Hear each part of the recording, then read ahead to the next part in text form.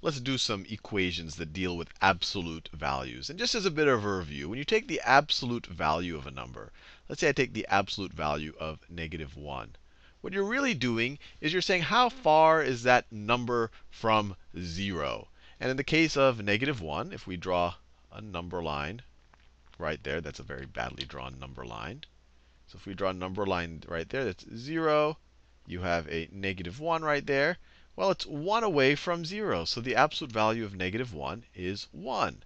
And the absolute value of 1 is also it's also 1 away from 0. It's also equal to 1.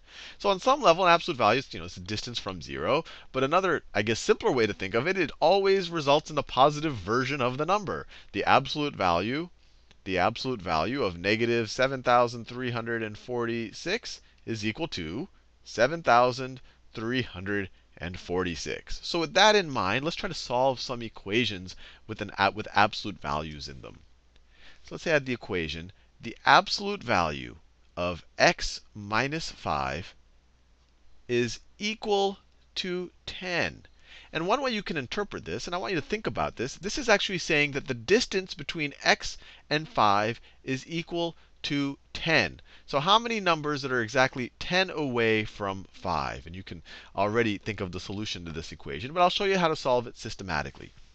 Now, this is going to be true in two of two situations either x minus 5 is equal to positive 10, right? If this evaluates out to positive 10, then when you take the absolute value of it, you're going to get positive 10.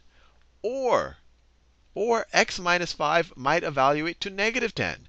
If x minus 5 evaluated to negative 10, when you take the absolute value of it, you would get 10 again. So x minus 5 could also be equal to negative 10. Both of these would satisfy this equation. Now, to solve this one, add 5 to both sides of this equation. You get x is equal to 15. To solve this one, add 5 to both sides of this equation. x is equal to negative 5. So our solution, there's two x's that satisfy this equation. x could be 15. 15 minus 5 is 10. Take the absolute value, you're going to get 10. Or x could be negative 5. Negative 5 minus 5 is negative 10. Take the absolute value, you get 10. And notice, both of these numbers are exactly 10 away from the number 5. Let's do another one of these. Let's do another one. Let's say we have the absolute value of x plus 2 is equal to 6. So what does that tell us? That tells us that either x plus 2, that the thing inside the absolute value sign is equal to 6, or the thing inside of the absolute value sign, the x plus 2 could also be negative 6, right? If this whole thing evaluated to negative 6, you take the absolute value, you'd get 6. So or x plus 2 could equal negative 6. And then if you subtract 2 from both sides of this equation, you get x could be equal to 4. If you subtract 2 from both sides of this equation, you get x could be equal to negative 8. So these are the two solutions to the equation. And just to kind of have it gel in your mind that absolute value, you can kind of view it as a distance, you could rewrite this problem as the absolute value of x minus negative 2 is equal to 6. And so this is telling me, this is asking me what are the x's that are exactly 6 away from negative 2. Remember, up here we said, what are the x's that are exactly 10 away from positive 5, right? Whatever number you're subtracting from positive 5. These are both 10 away from positive 5. This is asking, what is exactly 6 away from negative 2? And it's going to be 4 or negative 8. You could try those numbers out for yourself. Let's do another one of these. Let's do another one, and we'll do it in purple let's say we have the absolute value of 4x. I'm going to change this problem up a little bit. 4x minus 1. The absolute value of 4x minus 1 is equal to, actually, I'll just keep, is equal to 19. So just like the last few problems, 4x minus 1 could be equal to 19. 4x minus 1 could be equal to 19. Or 4x minus 1 might evaluate to negative 19, because then when you take the absolute value, you're going to get 19 again. Or 4x minus 1 could be equal to negative 19. And then you just solve these two equations. Add 1 to both sides of this equation. We could do them simultaneously even. Add 1 to both sides of this. You get 4x is equal to 20. Add 1 to both sides of this equation. You get 4x is equal to negative 18. Divide both sides of this by 4. You get x is equal to 5. Divide both sides of this by 4 you get x is equal to negative 18 over 4, which is equal to negative, negative 9 halves. So these, both of these x values satisfy the equation. Try it out. Negative 9 halves times 4, this will become a negative 18. Negative 18 minus 1 is negative 19. Take the absolute value, you get 19. You put a 5 here. 4 times 5 is 20 minus 1 is positive 19. So you take the absolute value. Once again, you'll get a 19. Let's try to graph one of these just for fun. So let's say I have, let's say I have y is equal to the absolute value of x plus 3. So this is a function or a graph with an absolute value in it. So let's think about two scenarios. There's one scenario where the thing inside of the absolute value is positive. So you have the scenario where x plus 3 I'll write it over here. x plus 3 is greater than 0.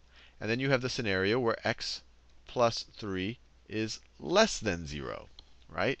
When x plus 3 is greater than 0, this graph or this line, or I guess we can't call it a line, this function is the same thing as y is equal to x plus 3 right? If this thing over here is greater than 0, then the absolute value sign is irrelevant.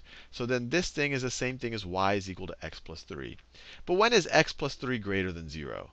Well, if you subtract 3 from both sides, you get x is greater than negative 3. So when x is greater than negative 3, this graph is going to look just like y is equal to x plus 3. Now, when x plus 3 is less than 0, in the situation where this, the inside of our absolute value sign is negative. In that situation, this equation is going to be y is equal to the negative, the negative of x plus 3. How can I say that? Well, look, if this is going to be a negative number, if x plus 3 is going to be a negative number, right? That's what we're assuming here. If it's going to be a negative number, then when you take the absolute value of a negative number, you're going to make it positive. That's just like multiplying it by negative 1. When, if, you're, if you know you're taking the absolute value of a negative number, it's just like multiplying it by negative 1 because you're going to make it positive. And this is going to be the situation. This is the x plus 3 is less than 0 if we subtract 3 from both sides when x is less than negative 3. So when x is less than negative 3, the graph will look like this. When x is greater than negative 3, the graph will look like that. So let's see what that would make the entire graph look like. Let me draw let me draw my axes. That's my x-axis. That's my y-axis. So just to, let me multiply this out just so that we have it in mx plus b form. So this is equal to negative x minus 3 negative x minus 3. So let's just figure out what this graph would look like in general. Negative x minus 3. Negative x minus 3. The y-intercept is negative 3. So 1, 2, 3. And negative x means it goes, it slopes downward, has a downward slope of 1. So it would look like this. It would look like this. The x-intercept, the x-intercept would be at x is equal to, so if you say y is equal to 0, that would happen that would happen when x is equal to negative 3. So it's going to go through that line, that point right there. And the graph, if we didn't have this constraint right here, would look something like this. It would look something like that.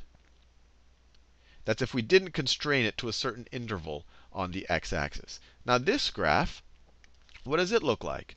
Let's see, it has this y-intercept at positive 3 positive 3, just like that. And where's its x-intercept? When y is equal to 0, x is negative 3. So it also goes to that point right there and has a slope of 1. So it would look something like this. That's what this graph looks like. Now, what we figured out is that this absolute value function, it looks like this purple graph when x is less than negative 3. So when x is less than negative 3, that's x is equal to negative 3 right there. When x is less than negative 3, it looks like this purple graph. Right there. So that's when x is less than negative 3. But when x is greater than negative 3, it looks like the green graph. It looks like that. So this graph looks like the strange v. When x is greater than negative 3, this is positive. So we have the graph of, we have a positive slope. But then when x is less than negative 3, we're essentially taking the negative of the function, if you want to view it that way. And so we have this negative slope. So you kind of have this v-shaped function, this v-shaped graph, which is indicative of an absolute value function.